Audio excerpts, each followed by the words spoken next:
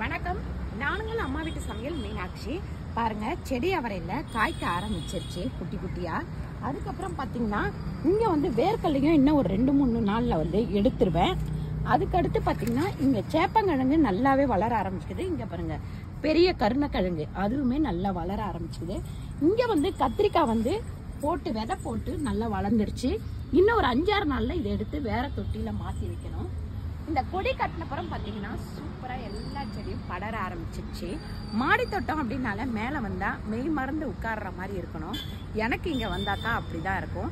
சூப்பரான இந்த மாடித்தோட்டம் அமைக்கணும் அப்படின்னா நீங்கள் வந்து ட்ரை பண்ணி பாருங்கள் இருக்கிற சின்ன இடத்துல கூட அழகான ஒரு மாடித்தோட்டத்தை நம்ம அமைச்சிக்கலாம். நன்றி வணக்கம்.